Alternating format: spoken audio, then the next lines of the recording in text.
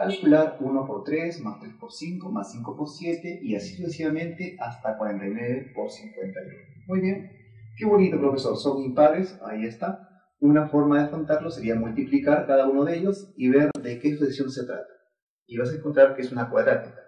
Para sumar los términos de sucesión cuadrática puedes aplicar números combinatorios. ¿De acuerdo? Esa es una forma. Otra, tratando de formar su término enésimo y aplicar sumatorios, sus propiedades.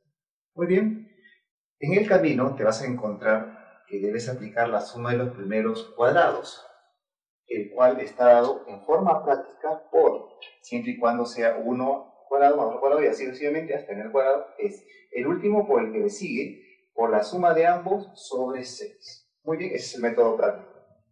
Ejemplo, ahí está. El último es 10, por el que le sigue 11, la suma de ambos. 10 más 11, 21. La suma de ambos. Ahí está sobre 6. Así es la fórmula. Hasta 25 al cuadrado. El último, o el que le sigue 26, la suma de ambos 51 sobre 6. Sacando mitad sería 13, sacando tercia sería 17, ya multiplicando ello resulta lo que está acá. Muy bien, entonces haz una pausa, intenta y luego Pasamos a verificar tu respuesta. Acá estoy colocando en función de los intermedios. ¿Quién está entre 1 y 3? El 2. Entre 3 y 5, el 4. Entre 49 y 51, el 50. El 1 tenía que colocar como 2 menos 1 y el 3 como 2 más 1. Suma por resta, diferencia de cuadrados, productos notables. Igual ocurre con el que está acá, igual ocurre con el que está acá. Sería 50 al cuadrado menos 1 al cuadrado, ¿de acuerdo?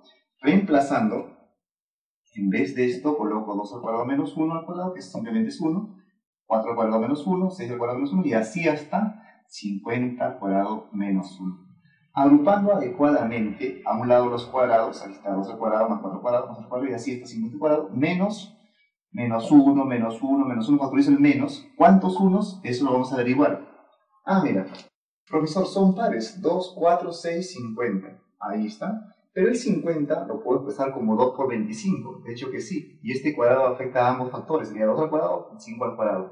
Ah, 1 por 2, 2 por 2, 3 por 2 y así, 25 por 2. Ah, 25 sumandos. Y igual va a poner acá, va a haber 25 unos. 1 más 1 más 1, 25 sería. ¿De acuerdo? Ah, de frente a 25. Acá, como te decía, puedo factorizar en todos el 2 al cuadrado. De esta manera lo puedo expresar y factorizo 2 al cuadrado. Al factorizar se obtiene 1 al cuadrado, 2 al cuadrado, 3 al cuadrado y así. Le quito 2 al cuadrado, le quito 2 al cuadrado, ¿qué me va a quedar? 25 al cuadrado. O en todo caso, esto entre 2 al cuadrado, porque estoy factorizando, me va a quedar 25 al cuadrado. Qué bonito, profesor, mira. La suma de los primeros cuadrados, ahí está. Aplicando el método práctico sería, mira, justamente le he hecho el ejemplo para ahorrar el tiempo.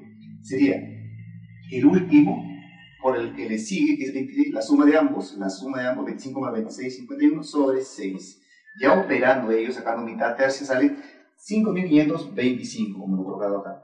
Ya operando 4 por lo que está acá menos lo que está acá, vas a obtener 22.075. Cosa que la clave sería la